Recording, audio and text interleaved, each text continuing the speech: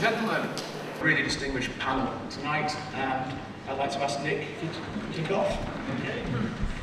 Four live events we'll be holding in this hall this year. Um, welcome back to those of you who came to our first one on human evolution, and a very special welcome to those who have come for the first time tonight. My name is Graham Lawton, I'm the Deputy Editor of New Scientist, and I'll be your host tonight. Uh, before we start, a few minor housekeeping points. Please turn off your phones, or at least put them on silent. The exit is at the back, believe it or not, where you came in. And the obligatory plug, we have uh, New Scientist subscriptions, books and bags available in the foyer. Uh, if you take out a subscription tonight, in print or digital, for yourself or as a gift, you get a complimentary New Scientist bag, complete with our series of books, and that's an offer you won't find anywhere else. so anyway, let's get on with the proceedings. Our topic tonight, as I'm sure you know, is the origin of life.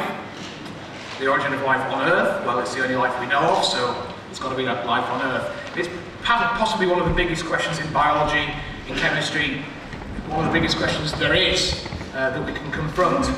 Obviously, it's been chewed over by lots of very famous names and incredible thinkers, Charles Darwin, and his Warm Little Pond springs to mind. Um, tonight we've got two very distinguished speakers who I think can take us beyond ideas like warm little ponds.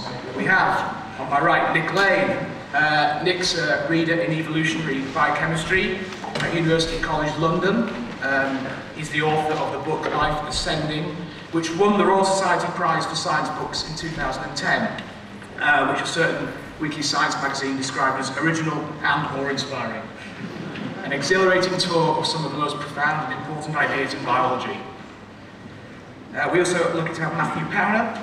He's a chemist at also at University College London.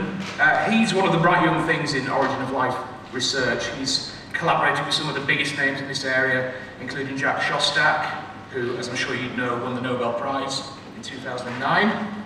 Uh, in 2012, he was part of a UK-based team that won the $50,000 Origin of Life Challenge, which challenges scientists to come up with new ideas for how life has started.